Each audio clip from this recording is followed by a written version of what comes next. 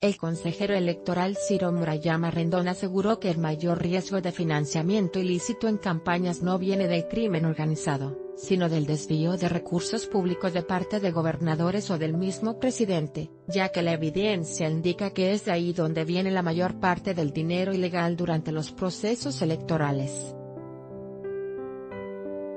A pesar de eso, rechazó que el Instituto Nacional Electoral necesite un lugar en el Sistema Nacional Anticorrupción. A pesar de la estridencia y el temor que nos da el crimen organizado, que pague las campañas, la verdad es que lo que nosotros hemos detectado, y documentado es que las campañas se financian con el uso de recursos públicos, y en la medida de que sea fácil para que un presidente, para un gobernador, desvíe recursos, ahí está la puerta, dijo durante su participación en el Foro Regional de Consulta sobre la Política Nacional Anticorrupción organizado por el CIDE.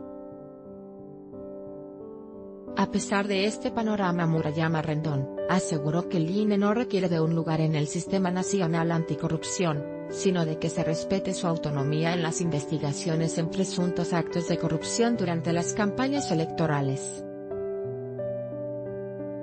¿El INE necesita una silla en el Consejo? No. Lo que necesita es que desde las sillas del poder no se dilapide su trabajo, y que desde el Tribunal Electoral se pueda ejercer la autonomía del Poder Judicial, que es donde yo he visto mayores complicaciones, aseveró el consejero. Hay que recordar que la futura secretaria de la Función Pública, Irma Erendira Sandoval, anunció que el nuevo gobierno planteará una reforma al Sistema Nacional Anticorrupción para darle un asiento al INE y a la FEPADE, en el entendido que los procesos electorales son un espacio donde hay mucha corrupción por el uso ilícito de recursos públicos.